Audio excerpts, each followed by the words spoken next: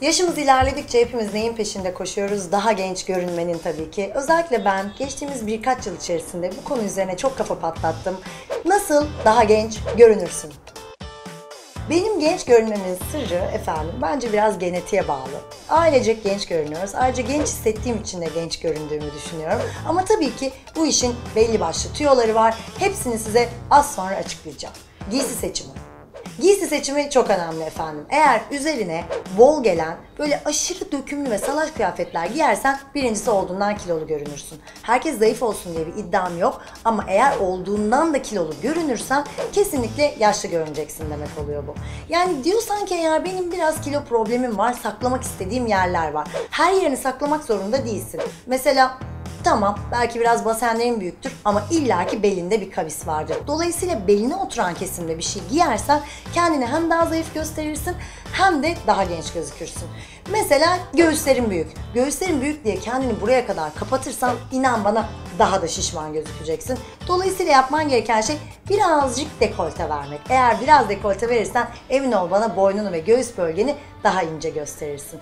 Ya da diyelim ki altına bol bir pantolon giydin. Hani şimdi çok moda ya bu annelerimizin cinleri yüksek belli bol pantolonlar. Onlardan giydin diyelim. Üzerine mutlaka daha dar kesimli bir tişört ya da body giy. İçine de sok, beline de bir kemer bağla. İnan bana daha genç bir fit gözükeceksin. Yani demem o ki bunu giyme, bunu giy. Geldik dev hizmetimizin ikinci maddesine. Aksesuar kullanımı.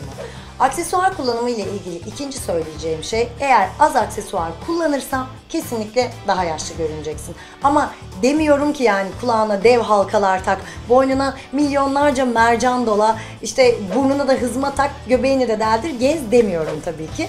Ama aksesuarı dozunda kullanırsan eğer kesinlikle daha genç görüneceksin. Diyelim ki siyah balıkçı yaka bir kazak giydin, altında da siyah bir jean pantolon giydin. Ee, dışarı çıkmaya hazırsın. Şimdi o kulaklar boş kalmadı mı?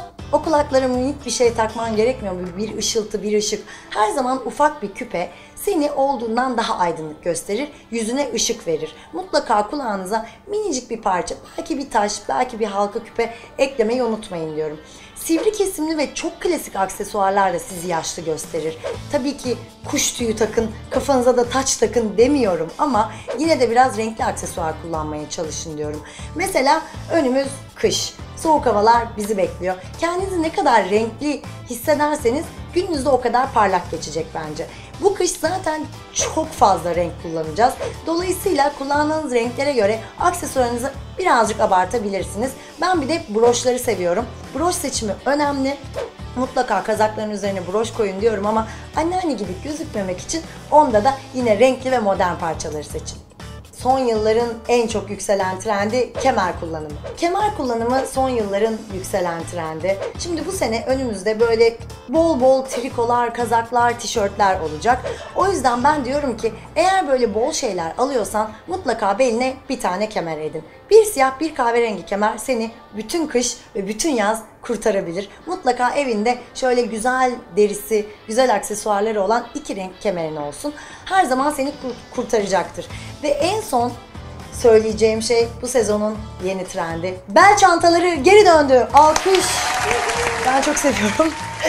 Hepsini takıyorum. Şimdi belinizin tamam hani kilo problemim var, sıkıntılarım var diyorsun. Belki beline kemer takmak istemiyorsun. Bel çantası takabilirsin. Tabii ki çok gösterişli bir şey olmasın o zaman. Yani fazla kabarık duracak bir şey olmasın. Ama belinize bu bel çantalarından renkli renkli her marka yaptı zaten. Kazağınızın üstüne, hırkanızın üstüne takıyorsunuz. Böylece telefonunuza da oradan pıt pıt ulaşıp herkese mesaj atabilirsin. Bana iki sene önce bel çantası takacaksın deselerdi bilmiyorum yani şiddetli davranabilirdim. Ama bel çantalarını şu an bayılarak kullanıyorum. Sen de bir tane edin kafan rahat etsin. Retro giyinmek, retro kullanım. Şimdi retro dediğimiz zaman ne anlıyoruz? Geçmişe gidiyoruz. İşte annenin elbisesi, anneannenin çantası gibi. Ben çok sevmeme rağmen özellikle vintage alışveriş yapmayı da çok seviyorum. İkinci el alışveriş yapmayı da çok seviyorum. Ama seni olduğundan yaşlı gösterecektir. Eğer genç görünmek istiyorsan biraz retrodan uzak durabilirsin ya da çok modern bir kıyafet giyersin. Dediğim gibi işte bir balıkçı balıkçı yaka kazak, altına işte bir jilet gibi deri pantolon, yüksek topuklu ayakkabılar. Ne diyelim eline anneannenin çantasını alabilirsin. Ama baştan aşağı retro bir görünüm yaparsan eğer hele ki hani güneş gözlüğü, şapkası, üzerine o deri ceketi, eteği gibi o zaman gerçekten gerçekten anneannen gibi gözükebilirsin. Dolayısıyla retro bir parça kullanacaksan bir ya da ikiden fazla olmasın kombininde. Doğru allık kullanımı. Şimdi allık her zaman yüzünde seni genç gösterecek bir makyaj malzemesi. Ama allığı hangi tonlarda nereye uyguladığın çok önemli. Allık sağlıktır diyoruz ve başlıyorum. Şimdi efendim genelde e, genç gözükmek istiyorsan kesinlikle böyle pembe ve şeftali tonlarından dışarı çıkma. Kahverengi allıklar, bordoya kaçan, mürdüme kaçan, çok kırmızı tonlar her zaman seni olduğundan daha yaşlı gösterecek. Sadece elmacık kemiklerinin üstüne uygulandığı söylenir genelde. Ama elmacık kemiklerinin sırf üstüne uygularsan yüzünde ince kırışıklıklar varsa onları daha fazla gösterebilir. Dolayısıyla aslında doğru olan şey bu efendim. Yani pembe tonlarındaki allığını alıyorsun. Buradan şuraya doğru sürüyorsun. Böylece hem elmacık kemiklerin daha çıkık gözüküyor. Yani biraz kulağa doğru getiriyorsun.